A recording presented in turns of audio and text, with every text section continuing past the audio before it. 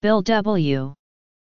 Wikipedia article audio Bill W. is an 2012 American biographical film directed by Dan Carracino and Kevin Hanlon, about William Griffith Wilson, the co-founder of Alcoholics Anonymous, and the first feature-length documentary on Wilson. The film includes interviews with several recovering alcoholics who are photographed in dark shadows to obscure their identity, and also makes use of dramatic reenactments to visualize key events in Wilson's life.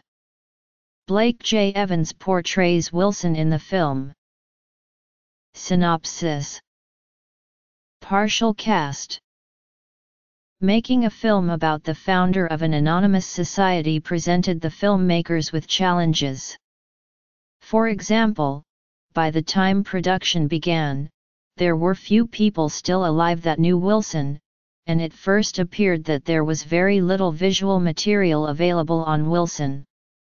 The filmmakers were able to unearth little seen archival footage and previously unpublished photographs of Wilson and the people in his life.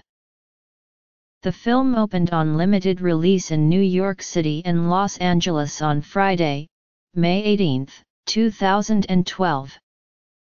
Prior to its theatrical release, Bill W. screened at the Cleveland International Film Festival.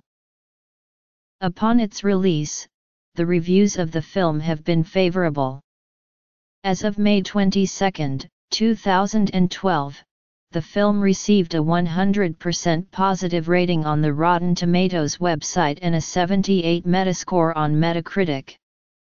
Ernest Hardy in his Village Voice review described the film as a loving, exhaustive, warts and all look at the man who spent years battling his own alcoholism before a spiritual experience in the hospital set him on the course to help others.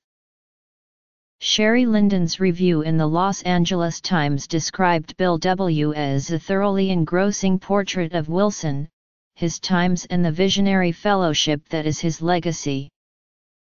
Production Roger Ebert gave Bill W. three stars out of four, calling it an assembly of styles.